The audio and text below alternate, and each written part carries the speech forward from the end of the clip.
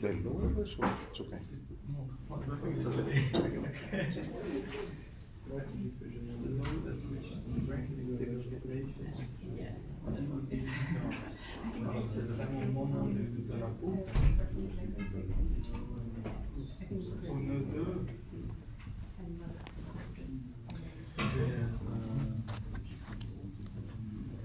Okay, so good, good morning. Welcome to the last lecture. That's a special lecture because uh, half of it it's gonna be done by me, and then uh, the second half will be done by Professor Beyer and her team. We have we have some distinguished uh, lectures um, people uh, uh, here, like Francesco. And uh, okay, so the purpose of today's um, class is to go through some case studies that are characteristic. I mean, there are several, but I'm gonna show you two, and uh, so that you can uh, appreciate the um, uh, use of nonlinear analysis, but also at the same time, these uh, case studies could uh, show you what could go wrong, and uh, perhaps you know some things that you may want to consider while building a nonlinear model. Okay. And I will focus more on steel and composite systems because I suspect that Professor Beyer will talk about uh, masonry and uh, yeah, masonry systems. Okay, so uh, okay, so so I picked two I picked two case studies to show you. The first one is uh, we call it blind, but it was not so blind. It's a blind analysis contest that I had organized among um, students in a different class I was uh, teaching uh, when I was in Canada. And uh, essentially, the, uh, the question there was uh, to predict the response of a four story building uh, by um, uh, asking like very specific things that I basically I will tell you what they were. And I call it blind because I knew the answer, but the students didn't, and they had to uh, uh, build a nonlinear model with the principles you learned in uh, class, this class here also, and uh, they had to predict what the structure would do under a given uh, ground motion. Okay. And the second, the second case study is a real um, blind analysis contest of an experiment that took place in uh, Japan uh, about 12 years ago, uh, where uh, people uh, uh, uh, tested the uh, behavior of a full, full uh, scale four story building that was tested to collapse.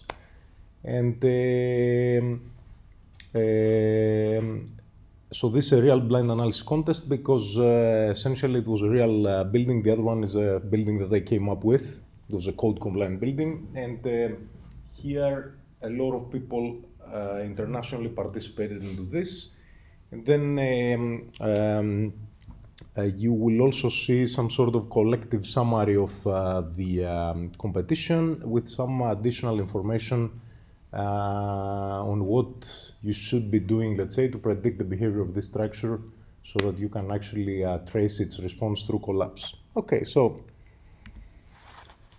okay, so the uh, as I told you, the first one is um, from an archives, like my archives. So we're looking for the uh, prediction of the uh, behavior of a four-story building designed according to the uh, North American code. So this is a four-story building that you see here in plan view. So dimensions are in uh, feet, but 30 feet is about 10 meters if you want to put things in perspective. Okay.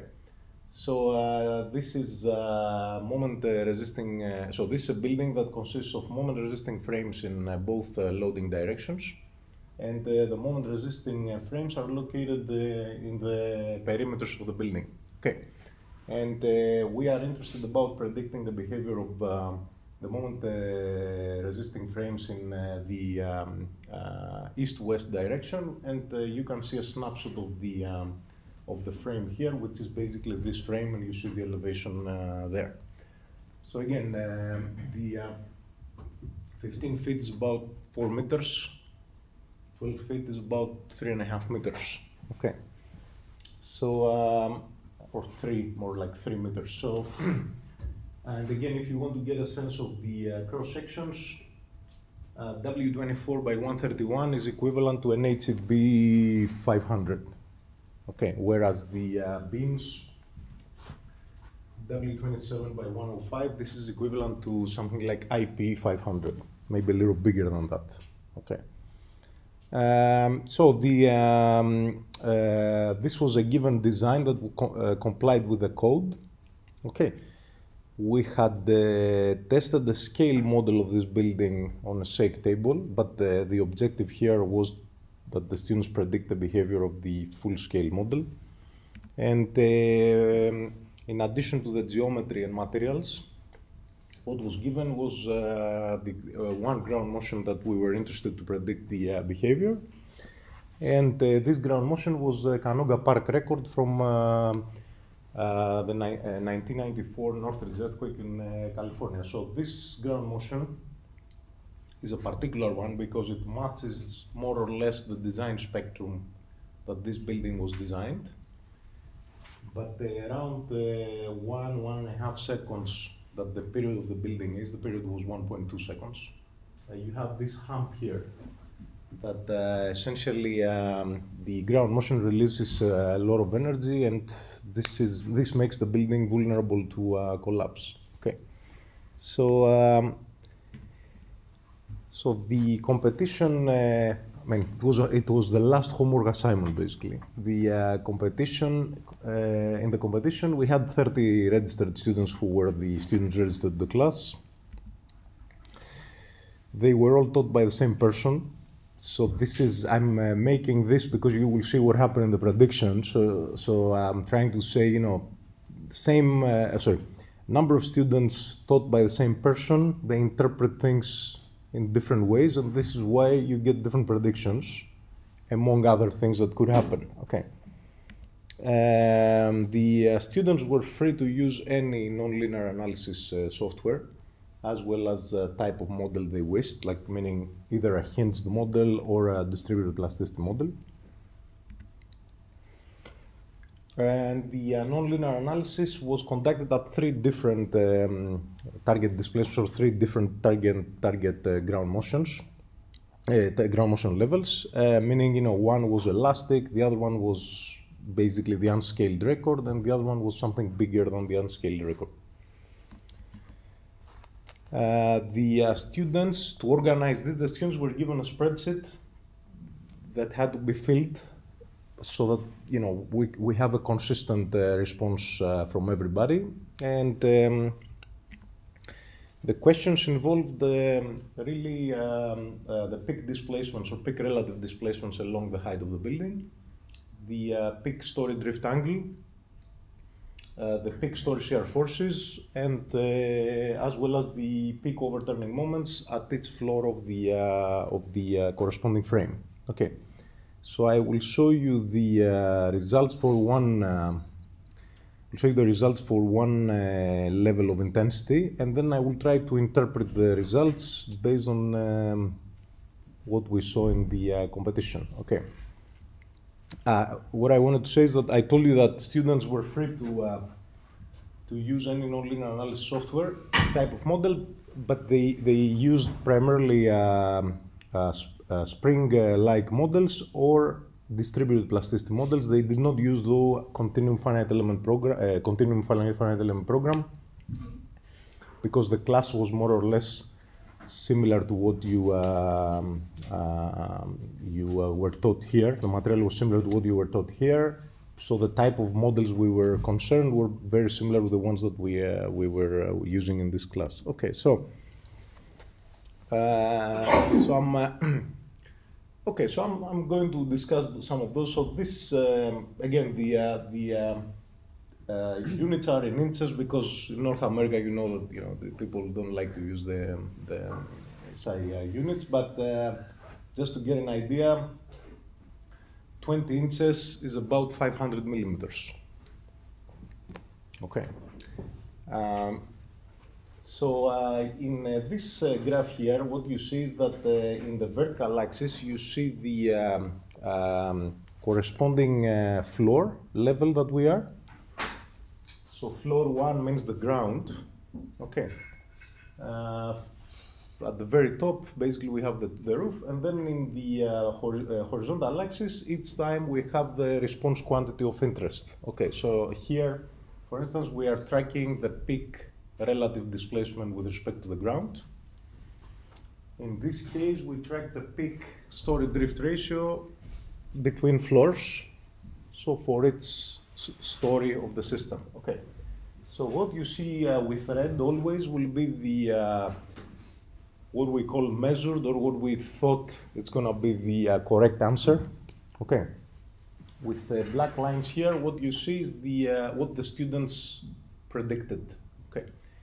So um, so I will uh, comment first on uh, displacements. Okay. So when you are looking at displacements, you see that the uh, response of the students has a large scatter. Okay. Uh, however, despite the fact that the scatter is large, the shape of the displace, displacement profile of a moment resisting frame is correct. Okay. Uh, but uh, so this is encouraging, let's say, uh, at first, because uh, obviously you will see later that uh, although people do predictions, they may completely miss the displacement shape of a structure. So it means that they, they don't even have the clarity to understand that there, there is something fundamentally wrong with their model. Whereas here, okay, this one corresponds to larger displacements versus this one that corresponds to smaller displacements. But this means that uh, perhaps this refers to a more flexible uh, version of the model. This refers to a stiffer version of the model. Okay. So the uh, so and this is really what is uh, happening. Like for instance, uh, uh the um, participants that essentially uh, over predicted deflections were participants that, for instance, did not consider the slab as part or the slab contribution as part of their model. Because if I go back, if I go back. So this is a steel building that has a floor system, okay, and uh, the floor system is uh, um, connected with the uh, uh main girders uh, through shear studs, okay, and because the slab contribution is not negligible in this case, obviously if you neglect your slab, so you assume that you know the action comes from the bare frame only, obviously you will uh, over predict deflections because essentially you are building a model that is more flexible, okay. Um, so if I go, okay, so uh, the um, the um, uh, other thing that uh, the other thing that could um, make this sort of um, uh, behavior look like this is that uh, when you are building a nonlinear model, you saw in the class that we have to consider masses seismic masses that have to be um, uh, applied to the system. And uh, okay, in the examples that uh, we uh, gave you, the mass was always given, but when you have to do this yourself, the mass, you have to calculate what the seismic mass is. Okay, so some students that were more predicting the response uh, to be, let's say, stiffer than it should, considered only the gravity load as part of the mass participating in the seismic action, uh, whereas others considered both the gravity and the live load, but uh, perhaps a larger participation of the li live load than uh, normal, because if you look at the MON codes, we typically assume that the seismic masses would be um, the gravity load plus a certain percentage of the live load, and you could use 20 or 30%. According to the American code, would be around 20%. Okay. Um, now, other, other than that, predicting the uh, behavior of the uh, building with um, with um, uh, different type of models um, for this level of intensity did not affect much the responses uh, besides the fact that the participants that used distributed plasticity uh, models were able to trace the response of, uh, of the building um, uh, close to yielding because this intensity essentially caused yielding. much better than participants that were using uh, spring-like models because a spring-like model with um, multilinear type of response is not able to trace, let's say, the yielding initiation very well, but it has this distinct uh, change between, let's say, the elastic and the post-yield uh, uh, branch. Um, now, the so looking at that, when you look at the other one, okay, you notice a couple of things that are a bit striking. Like for instance, so if you look at this one, right? If I look at this behavior, if I look at the so story, the peak story drift ratio is the relative difference between displacements at, at the corresponding floors, right? So if I look at this picture, then there is no way I can get this one over there, over there. So this for sure is a post-processing error. Okay. So what happened there is that the student who gave this answer essentially did not plot did not plot the um, um, uh, the peak story drift ratios in the right order. Like uh, this corresponds to floor one, this corresponds to floor two, this corresponds to floor three, and the last one corresponds to floor four or story four. So basically, he flipped or she flipped the um, the uh, order of stories because with this displacement profile, there's no way you can get this kind of uh, peak story drift ratio. Okay. Uh, now the other thing that is uh, is uh, interesting is that uh, there were one or two uh, responses that essentially predicted that drift localized in in story number two. Okay. So that implies that you have uh, drift concentration.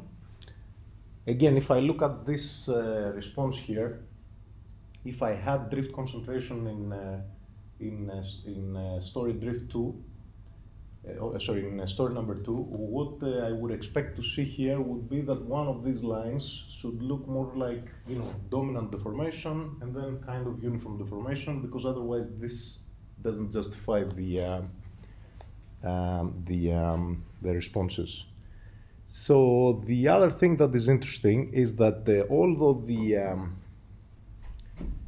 although there is scatter in the behavior, in the predicted behavior, if you compare the mean of the responses versus the, the measured response, they are very close. Okay. So that says, you know, if you want to predict the uh, behavior of a building and you ask a number of people, hopefully on average they will get it, even if some would give uh, some extreme answer versus uh, others. Okay. Now, let, let me show you a couple of other things. So, so here, what you see is uh, the uh, story shear force along the height of the building, and here you see the overturning moment along the height of the building. Again, if you want to get an idea, you, you multiply, so 500 uh, kips is like close to uh, 2000 kilonewton. Okay, multiply this with 4.4. Uh, so, so when I look at this, uh, when I look at these uh, responses, again there are a couple of observations you could make. Okay, so the first one is that, uh, so you see that one or more of the responses essentially uh, show that uh, force becomes infinite. Okay, so this means that this is a numerical uh, instability problem because uh, if we assume that the building degrades, degradation means that the forces have to be reduced. They cannot become infinitely large. Okay. So the fact that you see, you know, a flat line that sends the force to infinity essentially implies that there is a numerical instability associated with the uh, with the model. Uh, there are a couple of other uh, there are a couple of other observations, like for instance, if you are looking at this one here, right? So the um, uh, this is again a misinterpretation of the question because since we are looking for the absolute peak story shear forces, absolute peak story shear forces, if you have a moment frame, then, then the distribution cannot look like this. Because if it looks like this, you are basically saying that the peak story shear happens at the story number two. So this means that when you design a building and you do a code-based design, uh, what this means is that you don't understand that you design for the peak story here, which is always at the base. Okay. Um, then again, looking at the overturning moments, uh, the uh, when I when I look at these uh, responses, you see that the uh, there's one that sticks out. So again, this this is not like for a lot of people pay attention to the model, but when you try to interpret the results, basically you don't understand what structures do because it cannot be like this. The overturning moment cannot be like this. Okay, so um, the overturning moment has to uh, uh, look uh, pretty much has to have the shape that we see there because uh, obviously the uh, one is derivative of the other, right? So if one is concave, the other one has to be convex. Okay, and also the overturning moment at the base has to be again larger than any other. Okay, so. Um, um, then you have these uh, responses concentrating here that essentially imply that the overturning moment is uniform, which is not uh, again correct. Okay. So um, in the um, uh, so this is you know just the first indication what a group of people could do. Okay, when predicting the behavior of a structure with the given constraints, and you are free to select the uh, the uh, model of your choice as well as the software of your, of your choice. And uh, of course, you can blame the instructor that you know something was not uh, clear when the class was uh, was uh, was done. But uh, uh, I think the the value of this exercise, let's say, was more that instead of trying to say, okay, you did this wrong, you did this wrong, you did this wrong, like it was more like to really understand first how can we interpret results if we know design, and then if you have developed models, how why say model X versus model Y uh, gives you a certain uh, variability in the in the results. Okay. Um, any question before I continue? Okay, so the uh, second uh, case study that I'd like to uh, discuss, I think this is a little more interesting in the sense that you will see a lot of aspects of uh, of a model, let's say here. So this is uh, this uh, this is a four-story building that was tested in uh, Japan in um, at full scale at uh, at uh, E-Defense. So this is uh, this is. Um, uh, uh, obviously, you know, regular building uh, that in the x in the y direction you have the two bay frame. In the x direction, you have like one bay frame.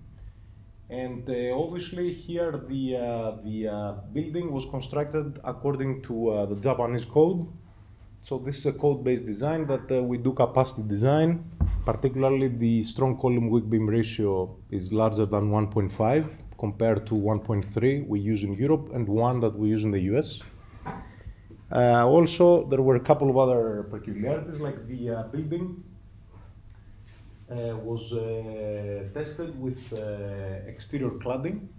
Okay, and the cladding that you see here, one side was open because it was the observation side. Cladding was uh, attached to the frame, to the frames, according to the Japanese practice that they use deformable connections.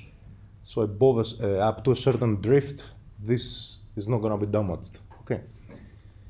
Uh, now the other thing that you see here is that uh, should I lower this or it's it shows okay?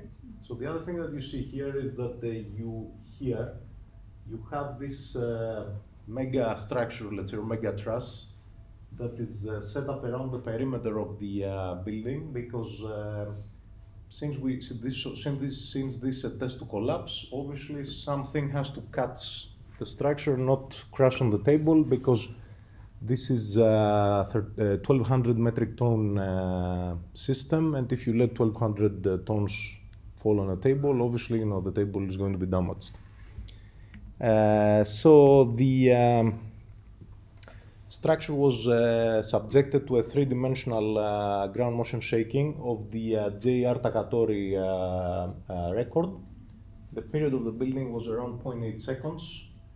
So with blue here, you see the north-south component of the uh, record. With dust red, you see the east-west component of the record and the uh, with um, uh, black line here, dust, you see the vertical component of the record. So you see that when the building starts experiencing damage, the uh, period will shift a bit and it will move inside this uh, region here that was uh, very damaging uh, also during the actual earthquake in 1995 in Kobe. Okay, so the before I get into the specifics, so the uh, building was uh, subjected to a series of uh, ground motion intensities of the same record. Okay, so in particular, the record was, uh, so when you do a collapse test, you don't just test to collapse immediately. You just want to also do a number of other things. So what, what are these things? So you would like to see if the building behaves as it should under an elastic shake, maybe, you know, and say close to yielding, and then you go for uh, collapse. Okay, so in this case, the uh, building was subjected to the 20% uh, of the unscaled intensity, 40%, 60%, 100%. So in Japan, what, the, what we call design level earthquake is the 60% response. Okay, so the 60% of this uh, uh, ground motion of 6% intensity will match what the Japanese call level 1 earthquake, which is basically the design basis earthquake that we use in Europe and also in the US, the, uh, the design level intensity. Okay, whereas the 100% uh, intensity is what we call level 3 event. So this is an event that essentially uh, will uh, it happens very rarely, but when it happens, we expect uh, perhaps collapse. Okay, so what you see here is the maximum story drift angle in the x direction and the y direction along the height of the building. And uh, what we observe is that uh, till the 60% intensity, drifts are uniform. Okay, so uniform drift means that what you hope to design for happens. However, when the uh, uh, system is subjected to the 100% uh, intensity, you see that there is drift concentration in the first story. So basically, collapse occurs because of a soft story formation. Okay, so if you see the video, so so, oh, so if you see the video. So, so again, this is a three-dimensional shake that essentially um, at 100% intensity, you get local buckling at the base. The code allows you that to form a local buckling at the column base. So this causes the gradation of the uh, element and the increase of the moment demand at the top of the same member. So you get a second plastic hinge, and then because of the uh, drift localization, you get a soft story uh, collapse. Okay. So so collapse was attributed to a bunch of reasons. So the first one was that uh, uh, you have composite effects that increase the beam flexural strength. So if you forget about this, uh, then obviously, you know, when you come and do the checks here to form the hinge in the beam, it's not going to happen. The second reason is that uh, although you form here a fixity, it's not exactly a fixity, you have some flexibility. So the flexibility of the column base, again, will reduce the moment here, will increase the moment here. There was still material, material variability, like in particular, the hollow square sections here were originally made by um, uh, steel that was uh, supposed to have close to 300 megapascal uh, uh, yield stress, but it has a bit lower compared to beams.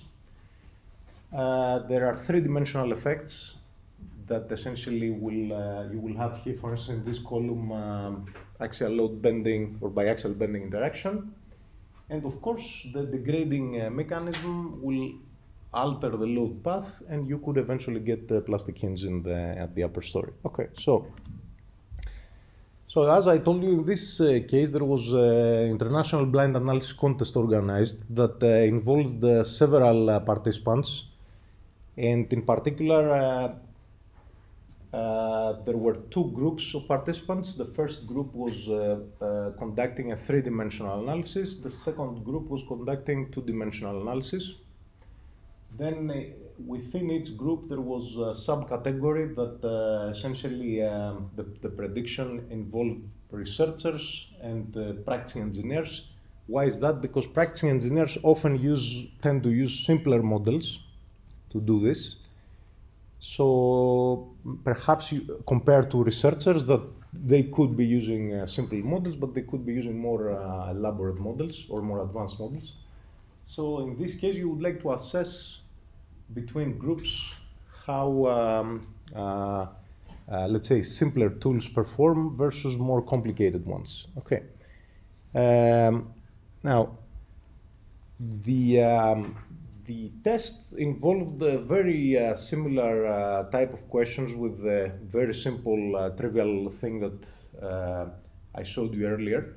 Particularly, the test, uh, the blind analysis contest uh, was asking for maximum values of the relative displacement from the base, absolute floor accelerations, overturning moments, and so on, as well as uh, story drift ratios, residual drift angle, and uh, involved some local measurements like strains at a particular uh, point of uh, the first story column as well as the time at which collapse uh, occurred during the uh, very last uh, intensity. Okay, and also the other thing that I wanted to say is that the first set of questions were associated with the prediction of the behavior at the 60% of the unscaled intensity whereas the second portion of the questions, which involve the collapse time, involve predicting pretty much what happened at the unscaled intensity. Okay. So uh, now, uh, th this was a fairly successful uh, competition in the sense that 47 teams from seven countries uh, participated and uh, seven teams participated in both three-dimensional and two-dimensional analysis. So you see here the distribution of the um, of the participants, with the majority coming from Japan and US. Okay, and a um, couple of other things related to the competition. The again, everybody was uh, free to uh, uh choose the software of their of uh, that they wanted to uh, to do the prediction.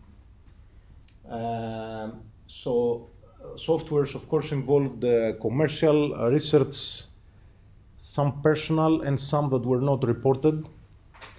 But mo most of them were uh, commercial, and uh, a lot of people uh, used what we call SAP 2000. Some of you know SAP 2000, as well as another platform that at that time was not very developed, like Perform 3D.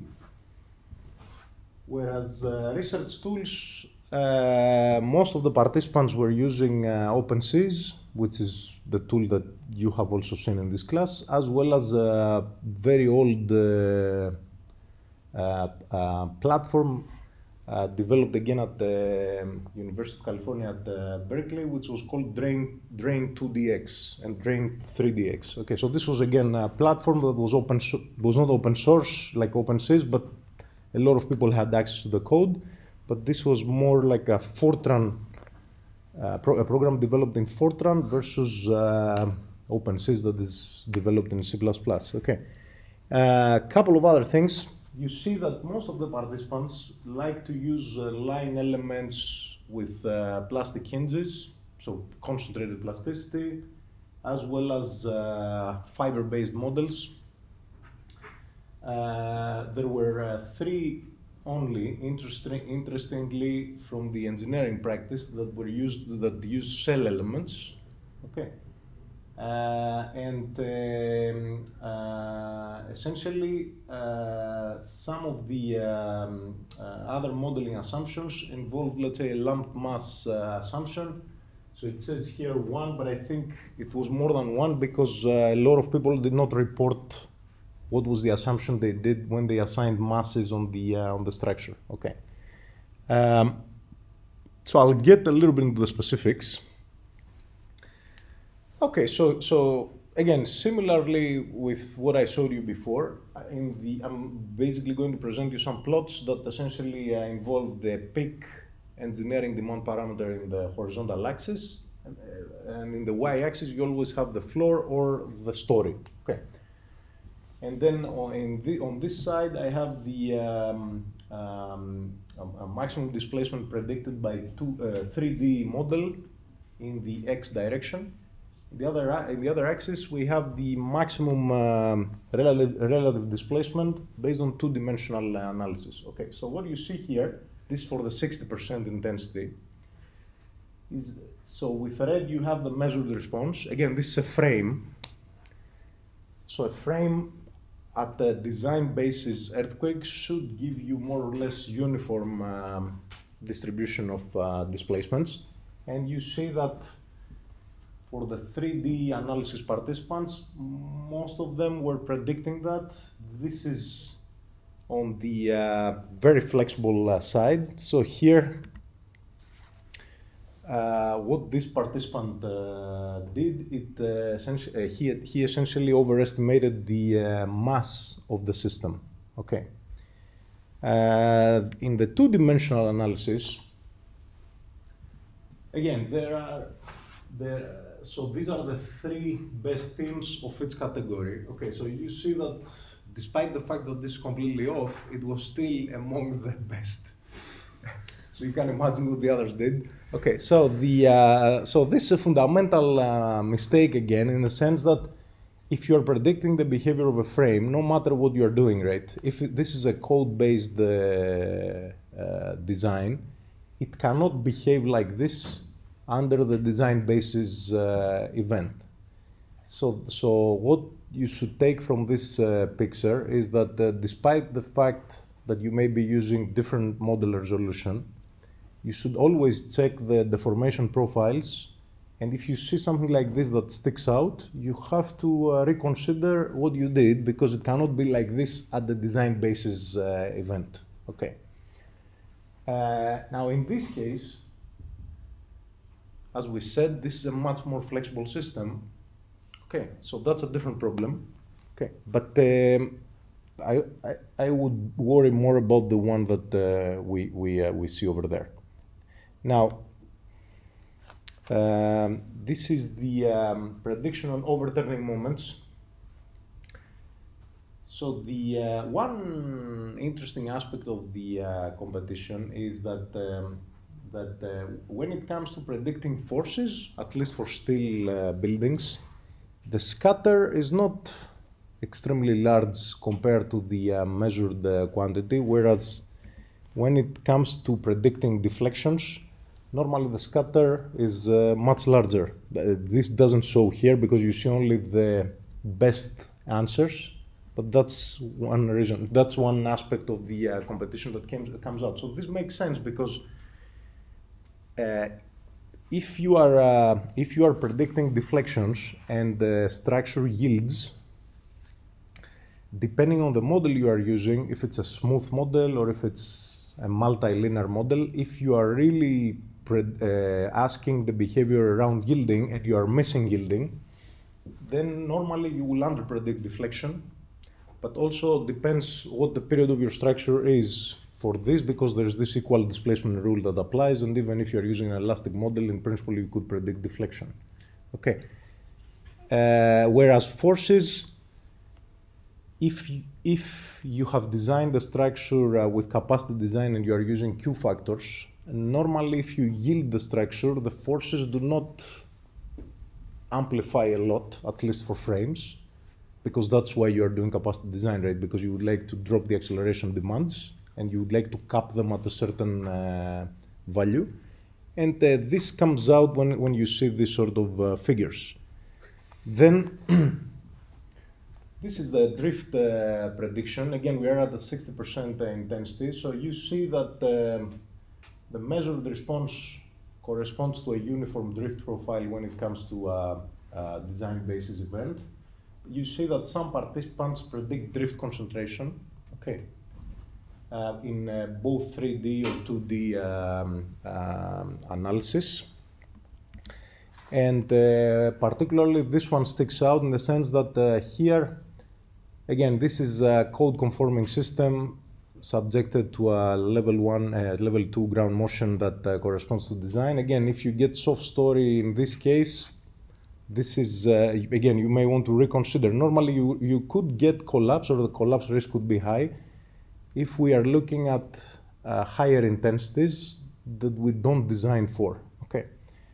So, um, in terms of uh, predicting uh, collapse time, uh, you see that again the best answers were not very far from this uh, measured time of collapse.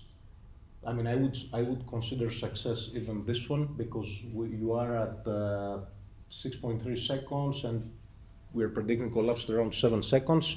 Again, this has to do the model resolution, and let me be a bit more specific uh, in this. So this is uh, some key findings after the um, after evaluating the uh, competition results, and uh, here I'm going to refer as rank one candidates the ones that were close to the answer, even if they didn't win. Okay. Uh, so what you see here is um, in the vertical axis, you see the number of groups that uh, used information on uh, component testing, used information related to the material that was used to construct the system. Uh, some didn't use anything. Some didn't report what they did. Okay. Uh, here you have the same type of information, but the, the, the question is related to damping. So some people used Rayleigh damping, some used stiff proportional damping, some used other, but they didn't report what. And uh, here you see pretty much the same uh, information regarding uh, what what's the value of the damping ratio that was used in the prediction. Okay, so so from this, uh, from the first one, so 20 groups did use the material and component uh, tests to conduct predictions. And uh, from those, 14 out of 20 were ranked as rank one. So it means that despite the fact that they didn't win all of them, they were still very close. Okay. Now, three out of uh, 12 that did not use any information related to uh, materials, so three out of 12 that were in here were able to be ranked as one. The others were far from the answer. Okay. Uh, now, regarding the damping model, 9 out of 10 who used the Rayleigh damping model, although the problems we discussed in class last week, they were able to uh, rank as 1. Um, and none of the participants who used the stiffness proportional uh, damping was able to be ranked as rank 1 and uh, the reason was that uh, they were over damping the the higher modes because of the assumption of stiffness, um, sorry, stiffness proportional damping. Now, 11 groups 11 groups assumed the damping ratio uh, larger than uh, 2%. And this, if you think about it, this is steel building. Historically, we use 2% to model damping ratio in steel. But as I showed you, the building considered the cladding around it uh, during the shake. So obviously, if you don't model cladding and you don't model, let's say, friction in the cladding connections and so on, that normally would increase, uh, would contribute to the damping uh, uh, ratio. Obviously, if you may want to inherently capture by increasing the damping ratio, Okay, so 11 groups assumed larger than 2% damping ratio, and six were classified as rank one. Okay. Um, now, a couple of other things. The slab effect here was considered by the participants, and um, uh, essentially, only if you were considering the slab effect, you could be classified as rank one. Now, the quality of the modeling, though, was not very uh, robust in the sense that a lot of them considered the slab effect by amplifying the moment of inertia with the factor of 1.5 to 2 versus the bare cross section. Okay. And uh, obviously, you know, that's a factor that says that slab effects are not necessarily understood uh, to the point that you can have a more robust model. However, some uh, participants use the fiber-based model that you could explicitly model the slab, but because there was no information associated with the slip between the slab and the beams, obviously, again, the validity of these models was not the best, but also was not bad. Okay. Uh, the other thing here, you see another, I think, you know, important aspect is that uh, number of participants included P-delta in their analysis. Okay. And you could trace collapse only if you consider P-delta. The ones that didn't, obviously, you know, they were not even close to it.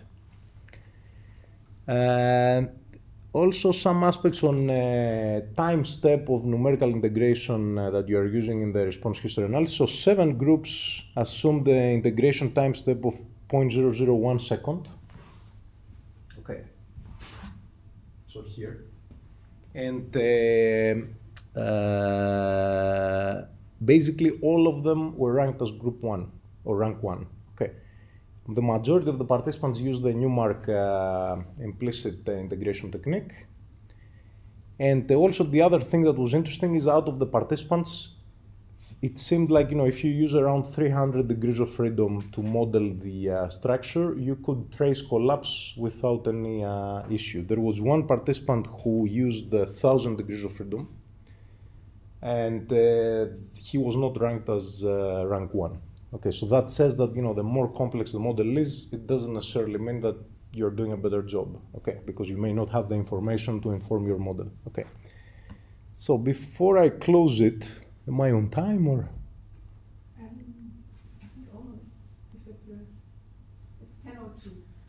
Okay, so I mean, I just maybe you know I can make some remarks. So the my personal interest with this uh, system, besides the analyzing the competition, is uh, how, for instance, zero length elements do versus distributed plasticity elements. So what I did is I used uh, pretty much both modeling approaches.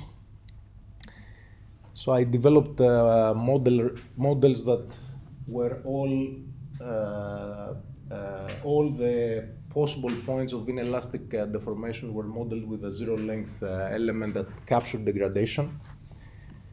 I used the uh, competition results because we said that these models could be good if you have component data that you could use to inform them. So I used the competition results. This is a composite beam. This is a hollow square section that I could actually calibrate the uh, models accordingly and at the same time because columns were uh, were uh, it's a different situation because they you capture actual load bending interaction. What happens is that uh, we use the fiber based model that uh, was uh, force based formulation. And uh, here because we're dealing with softening we used in a more refined recent prediction we used let's say stress strain formulation with softening. Okay. So so in this case, the uh, model updating was was uh, only concerned in columns. And uh, if you want to see how models perform, I'm almost done. Uh, so again, we talked about the first story uh, collapse here. So here you see the uh, quality of the model prediction in terms of the first story drift versus time between the fiber-based approach and the concentrated plasticity approach. So as long as we are dealing with uh, global demand parameters, like you cannot tell which is better than the other, okay, global demand parameters.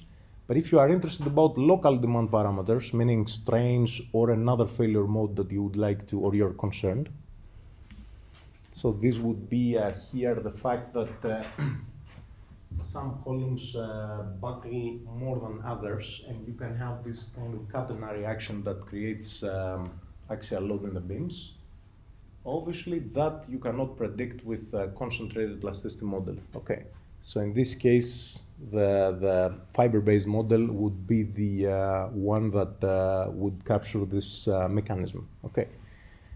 Finally, some other benefits. If So okay, we do the test to validate the model, but then the question is, you know, how can we avoid collapse? Okay, so if you have a model that you can predict collapse, you can reuse it by changing the column section so that you can see how you can avoid collapse. So if you change the column and your uh, strong column weak, beam ratio shifts from 1.5 to 2, then in this case your uh, predicted uh, deflection profile becomes uniform and all the damage is shifted to the beams.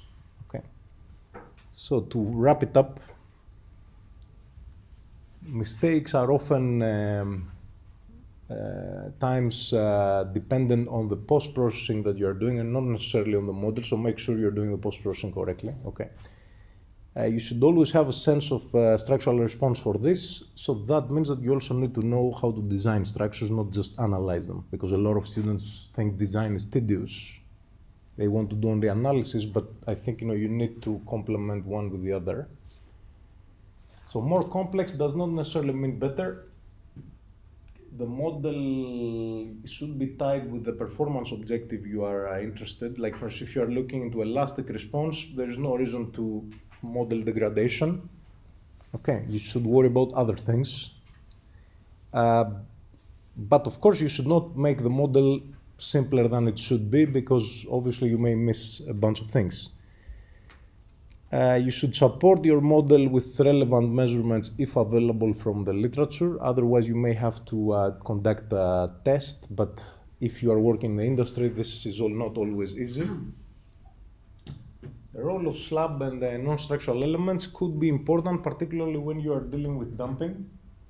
And again, in lightweight construction, if you are dealing with non-structural elements, you may not be able to disregard them uh, from your model. Okay. Now, uh, before I finish, some examples on, uh, but perhaps. Um, well, but we can already talk about the exam very briefly now. So we oh, yes. give you some information about the exam, right? It's a three-hour exam. It's a written exam. Um, I have the information the, on the date later on. The date is already the date. The date is already known. Yeah, yeah. Um, have another slide here. So we, we, we thought about uh, how we do the exam. So what we want to do is we want to concentrate on their understanding. Um, so it will be a closed book exam, but you can bring with you a two-page formula sheet, or and you know, handwritten. I have more information later. So two page, uh, two pages mean one sheet. Okay, back forward, like static one. Okay, um, and and a calculator, not a laptop. Yeah, so I mean, and from yeah. yeah. so you know, just to get an idea, but I mean, I think you know, this is more. Uh, so there are there will be some questions on uh, on the understanding part of the uh, class that, for instance, could be what are the advantages of force versus displacement based elements. But I mean, that's a simple question. Um, uh, what happens when you consider a zero length element and you are concerned about the elastic stiffness to be traced properly? That's maybe a little more um, than simple question. Okay. Uh, there could be questions related to damping. Okay. Uh, we talked about cases and we can come up with a case that stiffness changes. So you may want to think accordingly what's happening with your damping model depending on the um, uh, model you are given to consider. Uh, Another type of question could be in line with the examples we did in class, like uh, this is a tapered element that you are given a nonlinear stress strain formulation, and uh, you are asked to basically compute one iteration, and uh, in there you may have to um, decide on an integration technique that we did, why you have to explain why you are picking a particular integration technique versus another. Okay. And there could be another type of question that, uh, for instance, you are given uh, a particular geometry. You may have here an element with um, zero length, uh, um, uh, a member with zero length elements and an elastic uh, beam column element in the middle. So that obviously you know, affects the stiffness matrix and uh, we may ask you to compute pretty much a particular stiffness term within your stiffness matrix. So you have to show how this deforms and how you can actually get this uh, question, uh, this uh, stiffness index uh, to be computed, which is in line with homework assignment number four, I believe, that, uh, that we did. So with that, thank you very much. It was a pleasure to uh, teach the class with Professor Beyer, and hopefully uh, next year we will uh, continue also uh, um, even improve the class uh, for for the next gener- next um, uh, students that will take it. So thank you. Sorry for the small delay, or more than small. Okay, and if you have any questions between now and the time of the exam, uh, obviously, you know, we can uh, set up uh, some time to to to help you. Okay, we will grade the assignment number four and five. So you, ha- the deadline for five is on Wednesday, and uh, we'll also post a suggested solution because solution could be slightly different compared to uh, the, the values. No, but the the solution strategy may be slightly different compared to what you did. Okay, so thank you again, and uh, I'll uh, leave you with Professor Beyer. Okay.